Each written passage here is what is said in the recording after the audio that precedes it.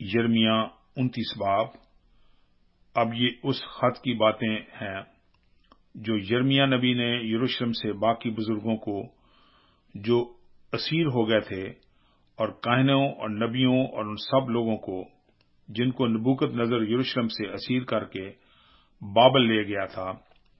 اس کے بعد کہ یقونیا بادشاہ اور اس کی والدہ اور خواجہ سرا اور یہودا اور یروشلم کے عمرہ اور کاریگر اور لوہار اور یروشلم سے چلے گئے تھے۔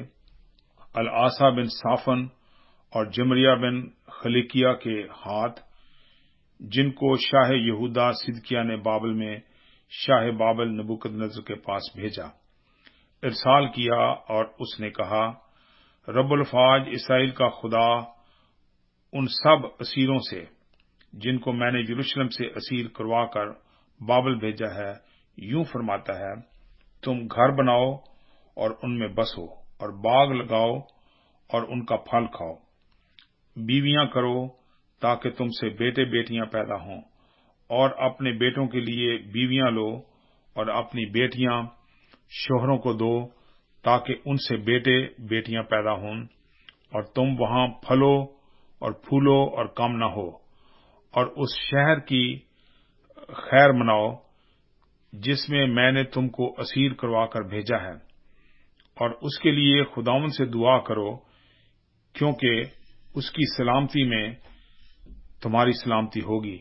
کیونکہ رب الفاظ اسرائیل کا خدا یوں فرماتا ہے کہ وہ نبی جو تمہارے درمیان ہیں اور تمہارے غائب دان تم کو گمراہ نہ کریں، اور اپنے خواب بینوں کو جو تمہارے ہی کہنے سے خواب دیکھتے ہیں، نہ مانو۔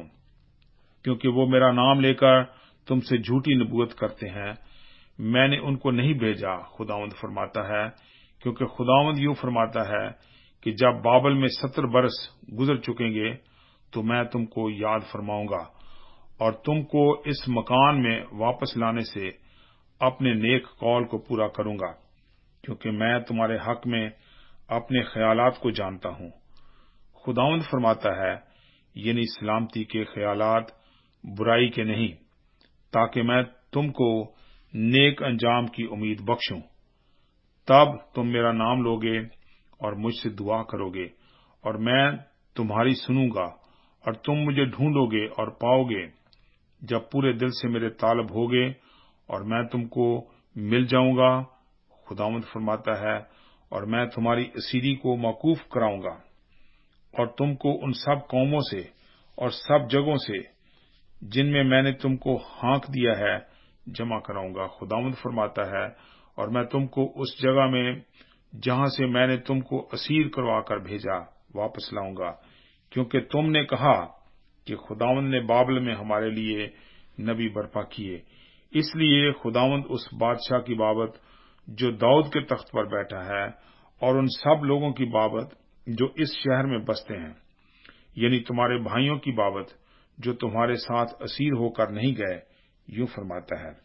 رب الفاظ یوں فرماتا ہے کہ دیکھو، میں ان پر تلوار اور کال اور وبا بھیجوں گا، اور ان کو خراب انجیروں کی مانند بناؤں گا، جو ایسے خراب ہیں کہ کھانے کے قابل نہیں، اور میں تلوار اور کال اور وبا سے ان کا پیچھا کروں گا، اور میں ان کو زمین کی سب سلطنتوں کے حوالے کروں گا کہ دھکے کھاتے پھریں اور ستائے جائیں اور سب قوموں کے درمیان جن میں میں نے ان کو ہانک دیا ہے لانت اور حیرت اور سسکار اور ملامت کا باعث ہوں۔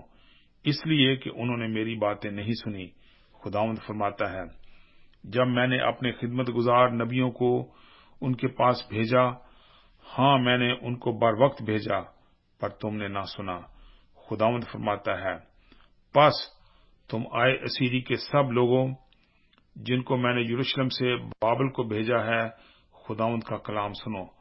رب الفاظ اسرائیل کا خدا اخیاب بن کول یا کی بابت اور صدقیہ بن ماسیا کی بابت، جو میرا نام لے کر تم سے جھوٹی نبوت کرتے ہیں، یوں فرماتا ہے کہ دیکھو میں ان کو شاہ بابل نبوکت نظر کے حوالے کروں گا اور وہ ان کو تمہاری آنکھوں کے سامنے قتل کرے گا۔ اور یہودا کے سب اسیر جو بابل میں ہیں، ان کی لانتی مثل بن کر کہا کریں گے کہ خداوند تجھے صدقیہ اور اخیاب کی مانند کرے، جن کو شاہ بابل نے آگ پر کباب کیا، کیونکہ انہوں نے اسرائیل میں حماقت کی اور اپنے پڑوسیوں کی بیویوں سے زنا کاری کی اور میرا نام لے کر جھوٹی باتیں کہیں جن کا میں نے ان کو حکم نہیں دیا تھا۔ خداوند فرماتا ہے، میں جانتا ہوں اور گواہ ہوں۔ اور نخلامی سمیان سے کہنا کہ رب الفاظ اسرائیل کا خدا یوں فرماتا ہے، اس لیے کہ تو نے یروشلم کے سب لوگوں کو اور سفنیا بن میسیا کہن اور سب کہنوں کو اپنے نام سے یوں خط لکھ بھیجے کہ خداوند نے یہودت کاہن کی جگہ تجھ کو کاہن مقرر کیا کہ تو خداوند کے گھر کے نازموں میں ہو اور ہر ایک مجنون اور نبوت کے مدعی کو قید کرے اور کاٹ میں ڈالے۔ پس تو نے سنتوتی یرمیا کی جو کہتا ہے کہ میں تمہارا نبی ہوں۔ گو شمالی کیوں نہیں کی؟ کیونکہ اس نے بابل میں یہ کہلا بھیجا ہے کہ یہ مدت دراز ہے۔ تم گھر بناؤ اور بسو، اور باغ لگاؤ اور ان کا پھل کھاؤ۔ اور سفنیا کاہن نے یہ خط پڑھ کر یرمیا نبی کو سنایا۔ تب خداوند کا یہ کلام یرمیا پر نازل ہوا کہ اسیری کے سب لوگوں کو کہلا بھیج کہ خداوند نخلامی سمیا کی بابت یوں فرماتا ہے، اس لیے کہ سیمیا نے تم سے نبوت کی، حالانکہ میں نے اسے نہیں بھیجا اور اس نے تم کو جھوٹی امید دلائی۔ اس لیے خداوند یوں فرماتا ہے کہ دیکھو، میں نخلامی سیمیا کو اور اس کی نسل کو سزا دوں گا۔ اس کا کوئی آدمی نہ ہوگا جو ان لوگوں کے درمیان بسے اور وہ اس کی نیکی کو جو میں اپنے لوگوں سے کروں گا، ہرگز نہ دیکھے گا۔ خداوند فرماتا ہے۔ کیونکہ اس نے خداوند کے خلاف فتنہ انگیز بات کہی ہے۔